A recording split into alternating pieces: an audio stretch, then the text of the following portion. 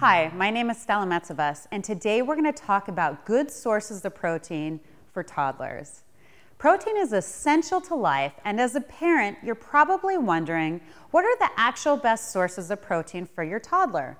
Animal based protein comes in many different forms, both healthy and unhealthy sources. Today, we're going to talk about the healthiest, best choices of protein.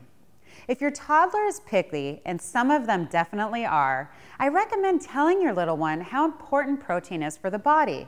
Children are very smart. We often underestimate their abilities. By advising them lovingly about protein, we could build a healthy relationship between food choices and protein early on in their life. Now, fish is my number one pick for toddlers. The smaller the fish, the better. Fish provides essential nutrients like DHA and omega 3 for brain development and healthy growth. Try using a maple glaze on a salmon to get your kids hooked. Another favorite is orange roughy or red snapper. Both are pretty mild in taste. Eggs are a top pick because they're so versatile. You can make egg cupcakes, colorful omelets, or serve scrambled eggs with a sprouted piece of bread.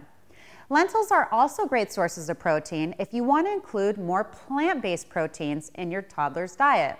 You can make lentil burgers, lentil soups, add lentils on top of grilled cut vegetables, drizzle some olive oil on top.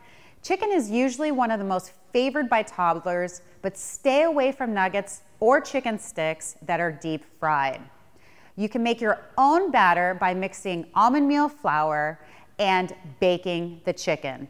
Frying foods is probably one of the worst things for toddlers.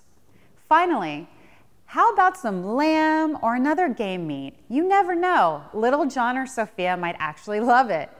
On a final note, my personal recommendation is always to try and make your toddler's protein sources at home. You'll save on the unnecessary sodium and binders that are often added to store bought or processed fast foods.